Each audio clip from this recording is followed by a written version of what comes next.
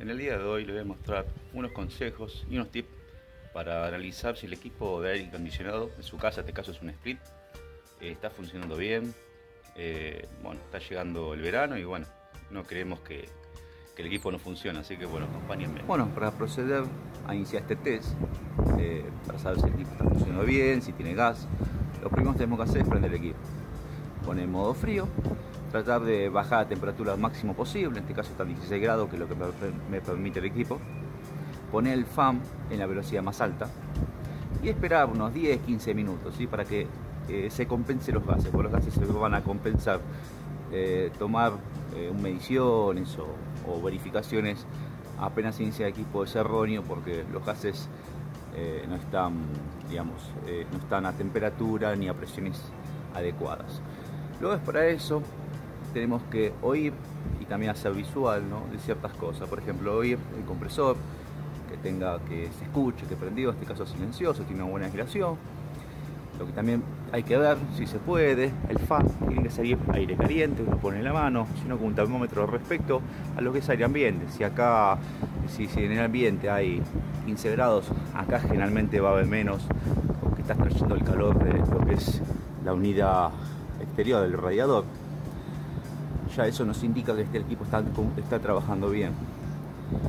Eh, de acuerdo también a temperatura ambiente, eh, a veces hace mucho calor y acá tira más, mucho más calor de lo que hay ambiente. Entonces, bueno, si uno pasa cerca de una condensadora, se da cuenta que funciona bien por el calor que tira acá, a veces tira hasta una especie de vapor.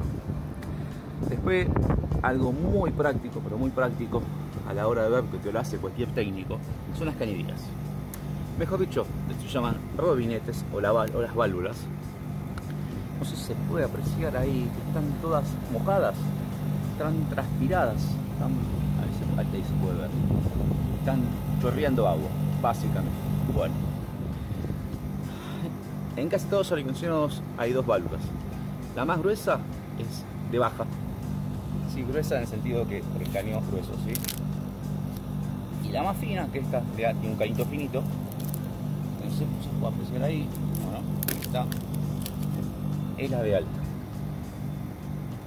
En uno, para decir muy sencillo, en una sale el gas frío del compresor y la otra vuelve líquido. Perdón, me, equivoqué. En una sale eh, líquido frío, porque el gas se, se convierte en líquido, va hacia la unidad interior y vuelve en estado gaseoso. La condensación nos indica que el equipo está andando muy bien.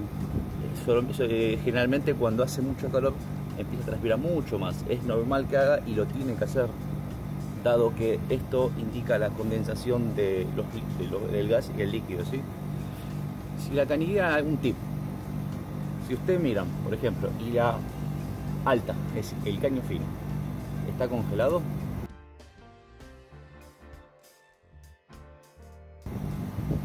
esto indica que falta gas. ¿sí? O también puede indicar que esté tapado algún conducto interno de esta unidad. Ojo, pero generalmente es porque falta gas. Si está congelada la baja, es decir, el caño grueso, todo esto es en modo frío. ¿sí?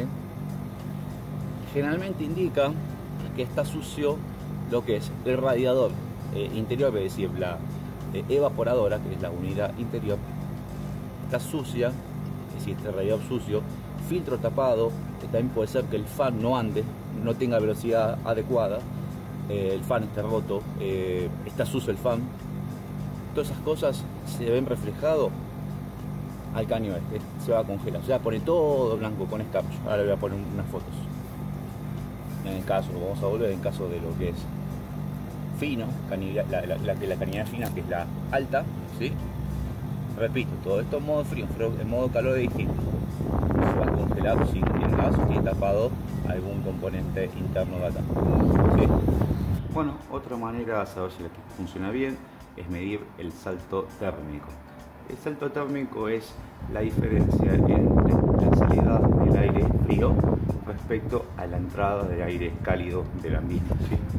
Para eso procede un en este caso termómetro digital, pero puede ser termómetro normal. metemos la sonda o apuntamos en este caso en la parte interior. ahí está, a salida de 3 grados, bueno 2 grados llegó, sí, 2 grados 4. Y ahora medimos la parte superior, en este caso voy a medir el techo. Vamos a medir, nos da 16. Bueno, según son manuales, dice que tiene que ser mínimo tiene que tener una diferencia mínima de entre, 10 y 12 grados, es decir, respecto a uno que el otro. Yo acá tengo 3 grados y acá tengo, en la parte superior tengo 16, entonces tengo una diferencia de 13 grados. El equipo en este caso está andando perfecto, quiere decir también que los filtros funcionan bien, que están limpios, que el radiador está bien. Así bueno, proseguimos con un plus. También deben verificar lo que es la salida del agua, de la condensación de la unidad eh, interior, ¿sí? Generalmente les ponen un caño flexible, puede ser un caño rígido, ¿sí? Siempre tienen que gotear. A veces, en este caso, bueno, la temperatura no es muy baja acá, tenemos una temperatura muy alta, pero bueno, se ve, no sé si se puede apreciar, está, ya está, todo condensado esto, ¿sí? Siempre tienen que gotear agua. Si no gotea agua, eh, puede estar tapado, ¿sí? Y también indica, si no gotea agua, que el equipo está andando bien.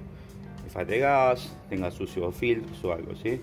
Es decir, la buena salud del equipo que para, tener una referencia, ¿no? Que siempre tire agua. A veces pasa que en los veranos me llama un cliente, no, el equipo tira mucha agua, mucha agua, bueno, está bien, no hay problema. Eh, el agua se debe también a temperatura ambiente. Si hay mucho calor, va a condensar mucho el equipo y va a tirar, va a tirar mucha agua. Es normal y bueno, eh, eh, así tiene que funcionar el equipo, ¿sí? Eh, así que no se asusten, al contrario, si tienen, tienen que verificar eso.